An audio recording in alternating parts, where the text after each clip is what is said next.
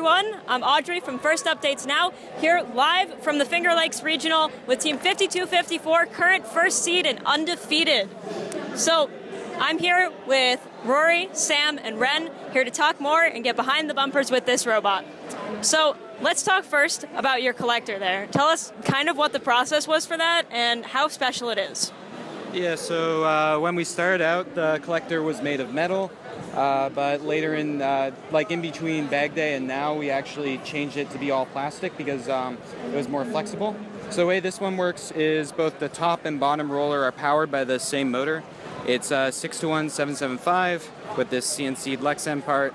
Uh, so, and there's a uh, figurated piece of polycord going down to the bottom roller and a belt going to the top roller.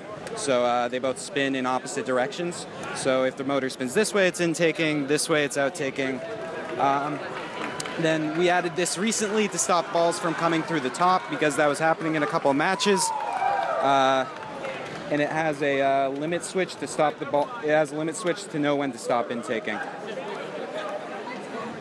That sounds really cool and also really effective. But one of the things that's been getting you the ranking points every single match consistently has been the awesome climber that comes from underneath.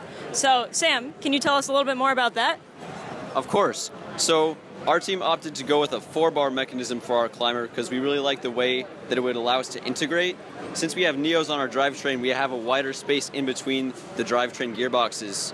As you can see here, um, with CIMs, that's just not feasible. So, our four bar extends out of the robot, which we demonstrate with this wooden model. And then we uh, use our drivetrain to pull us the rest of the way onto the uh, onto the platform. Um, it took a lot of iteration to get this working because it's it deals with crazy crazy amounts of force. Um, so we had to go through a bunch of different versions with different materials. You can see the final, uh, the most weight bearing bars are made of steel, and the um, these were roughed up on a bandsaw, but we have other ones that are um, these plates that are uh, CNC'd as backups. Um, and uh, yeah, we have a limit switch to stop it from pulling itself to pieces if it keeps on trying to actuate. Nice. So let's get a clearer view of the back of the robot and the beak and the gear manipulating mechanism. Or, sorry, the hatch panel manipulating mechanism. So, Ren, can you tell us a little bit more about this? Uh, yes. So this is our hatch mech. Um, we call it the beak because it kind of looks like a beak when it's closed. Um, so, wow. The panel um, goes on this. Uh, center of the panel goes through this, and then this plunger pushes these four triangles open, and that holds the panel in place. Um, and how we place is this pushes back out, and this ring comes forward and kicks the ring, the panel off of our mech. Um, so this is pretty much custom fabrication.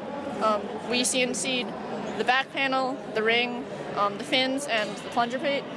Um, and we have two metal gussets here because these fins were bending at one point, um, and we were afraid that they would break um, instead, but yeah.